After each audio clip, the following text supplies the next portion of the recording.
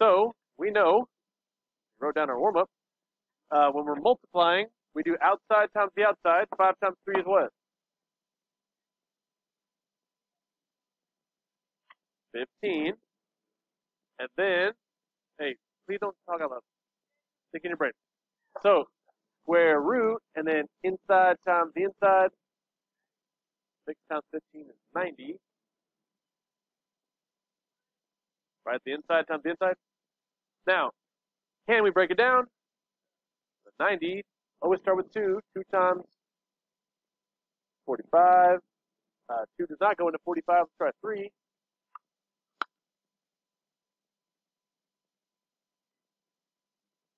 So, 3 times 15, and then 15 also breaks down into 3 times 5.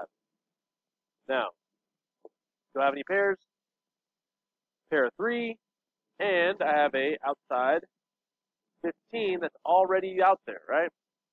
So if I have a coefficient, it multiplies with my pairs, 15 times 3, 45 on the outside, and then I have two loners, 2 and 5. What's 2 times 5?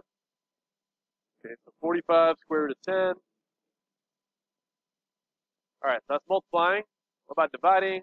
So outside divided by the outside. Now, 2 over 3 doesn't reduce. Now, some of y'all noticed on the last assignment, there's fractions, and what do you do? So here's an example of. So 2 over 3 is going to stay 2 over 3. Uh, what about square root of 60 over square root of 3? So 60 divided by 3 is 20. So, so that's square root 20, right? Okay, so that would be okay, but let's try to reduce it. 20 breaks down, 2 times 10, and 10 is 2 times 5. Do I have a pair? Pair of 2. And here's the part where it's like, what do I do? So, I got a circle 2, and I have a fraction in front, right? Now, when you multiply to a fraction, you only multiply it with the top. If you multiply it with top and bottom, it'll end up reducing to the same fraction, which doesn't change it at all. So this 2 times this 2 is what? 4. Still going to be over 3. And what's my leftover loner? Square root 5. Okay. Now, what else is on the board here? So, uh, grades are due Friday. Everything is due Friday. Mrs. Marrero is here today after school, and I'm here tomorrow after school. And in the morning, I'll be here tomorrow, but I have a meeting at 8. So 7 to 8, super early, or Friday, 7 till the bell. Whenever you get here, I'll be here, okay? Or if I'm not in the room, I'll be right back. That'll work. Uh, let's talk about reducing, uh, sorry, rationalizing denominators. That's our objective. This will be a nice short and sweet notes, and it's a short assignment, just eight problems. Oh, I feel nice today. By the way, I'm Today I'm putting in all four of these green assignments, right? Simplifying radicals, let me point to it here. This one, putting that in, putting that in, putting that in, and putting that in. So if you haven't been doing the last four assignments, or if you haven't finished them, turn those in ASAP. But we're going to do this real quick. And since it's going to be real quick, there should be no complaining about taking out the headphones because we know that's how we do it every day. So let's do that.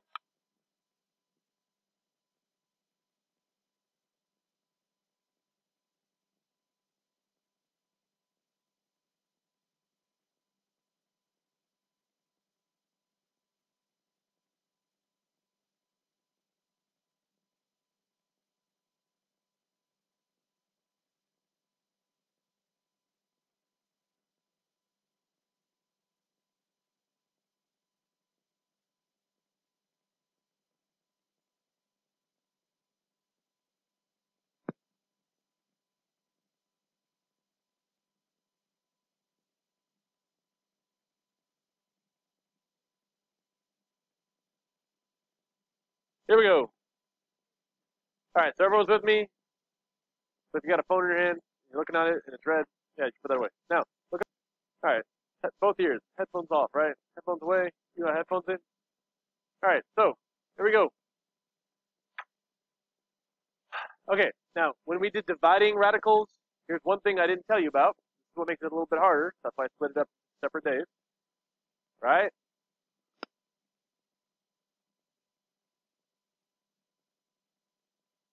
So you cannot have a radical on the bottom.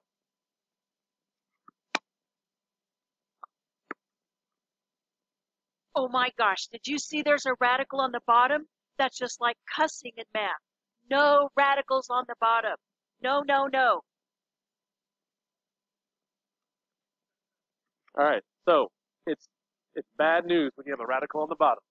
So that means when when you see a when you radical on the bottom, you got to do something.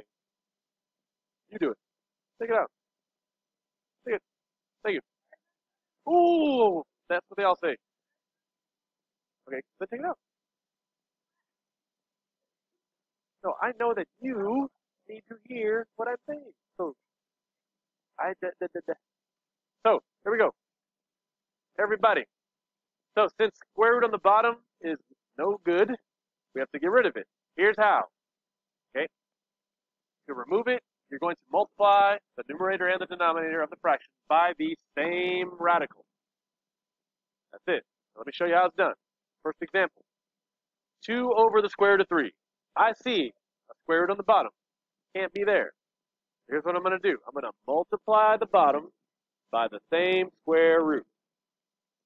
We learned this two days ago on the notes, that if you multiply a square root times the same square root, you get the number without the square root sign. Right? Square root of 3 times square root of 3 will be just 3. Okay? So that removes the square root. Cool. Now, but if I do it on the bottom, I got to do it on the top. So on the top, I'm going to put times square root of 3. Okay? Now, on top, if you have a whole number times the square root sign, you just put them right next to each other.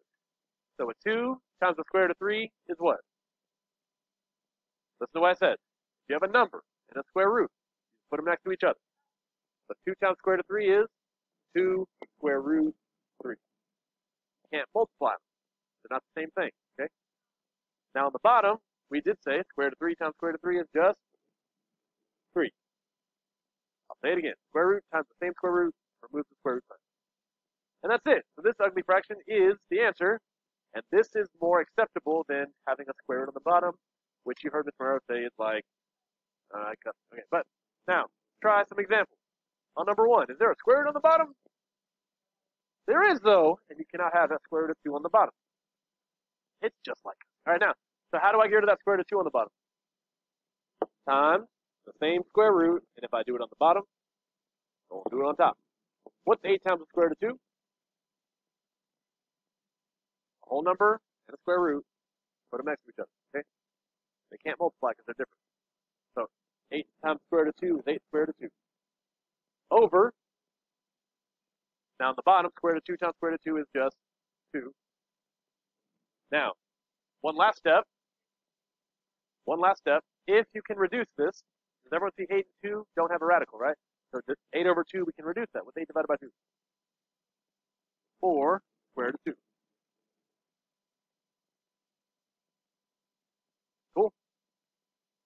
What about number 2? So on number 2, I got a square root on the bottom. How do I get rid of the square root of 3 on the bottom? Times square root of 3 times square root of 3. Now on top, what's 9 times square root of 3? Yeah, just right next to each other, right? 9 square root of 3. Now the bottom, square root of 3 times square root of 3, straight up 3. And can it reduce? Yeah. 9 divided by 3? 3. You know what's weird? This thing and this thing, you tap them in the calculator, they'll give you the same thing. But there is no calculator way to do these steps for you. Okay, so you got to show me this work for real. All right. Uh, next, the calculator will not do that for you. But you can use the calculator to do multiplying and dividing stuff, but it's not going to do all that for you. Now, number three and four, more of the same stuff. Times the square root of two on the bottom and the top. What am I going to get on top? 7 square root of 2, what's on the bottom? Can I reduce it? No, that's it. So on number 4, same thing. Square root on the bottom times the square root on the bottom and the top. What's my final answer going to be? 8 square root of 3 over 3.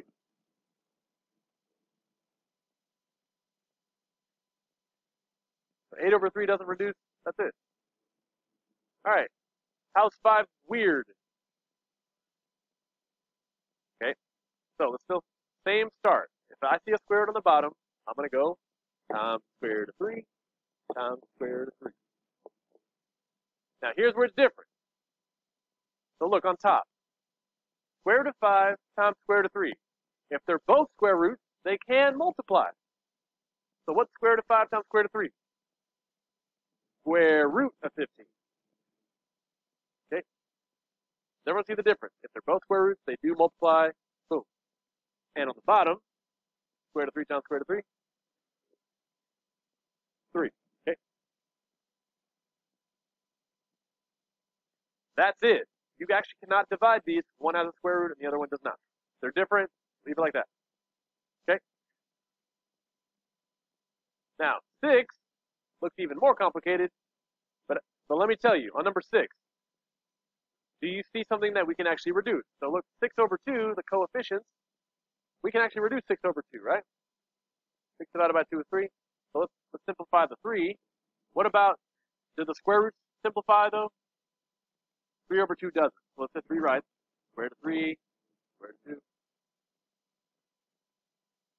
So my first step, I just simplify the coefficients. And now we know you can't have a square root on the bottom. So what am I going to do? Times square root of 2 times square root of 2. Now, on top, kind of forget about that coefficient 3. These two square roots can multiply. What's the square root of 3 times square root of 2? Square root of 6, right? And then that 3 stays out front. So 3 square root of 6 on top.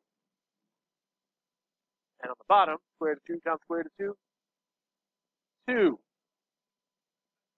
Square root times itself is the number without the square root. Alright? Now, last two. 7 looks complicated, but I, I put this on here on purpose. Okay? What do we always want to try before we start I mean, I see the square root on the bottom, so you might want to start multiplying by the square root of 3, but don't do that. See if you can reduce first. Does 4 reduce by 2? What is it? Does 6 reduce by 3? Yeah, that's also 2. So actually, this is not